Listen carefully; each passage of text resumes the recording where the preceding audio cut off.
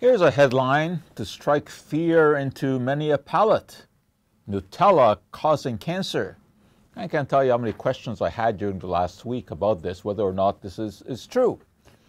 Nutella, interesting little concoction. You know, it dates back really to the, uh, oh, almost 100 years.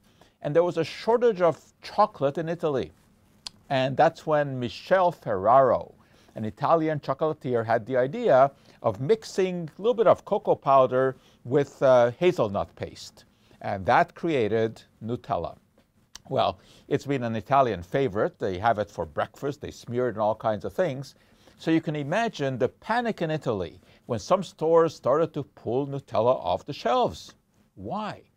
Because of a report from the European Food Safety Association suggesting that there were substances that were present in the uh, palm oil that is used to make this really spreadable. Because if you just take chocolate and you take hazelnuts, it doesn't become really spreadable. You need something to liquefy it, and that's palm oil.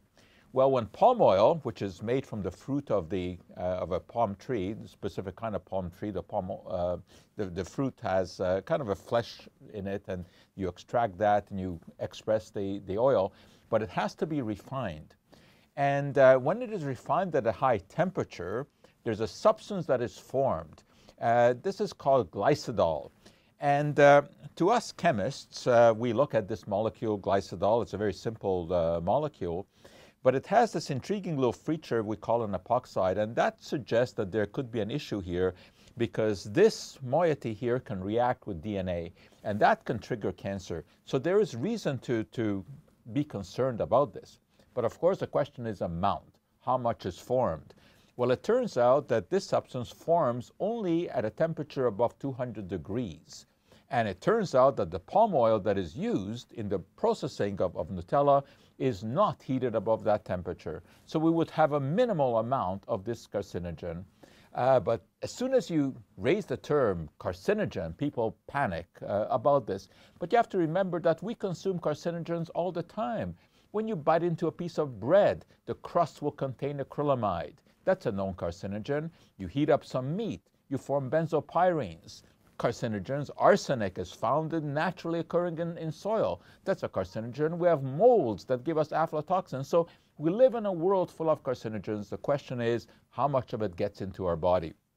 In this case, very, very little. It really is an insignificant uh, amount. So this is a way overblown scare that has no practical uh, meaning.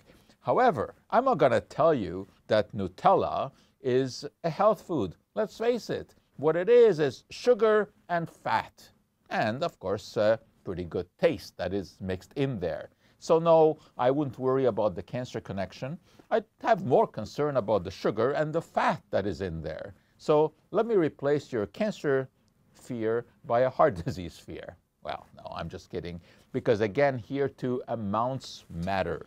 And if you're going to take a little bit of Nutella and spread it on a cookie, incidentally, this cookie has palm oil, as do many foods, including ice cream and, and infant formula and cakes of all kinds. They are made with palm oil.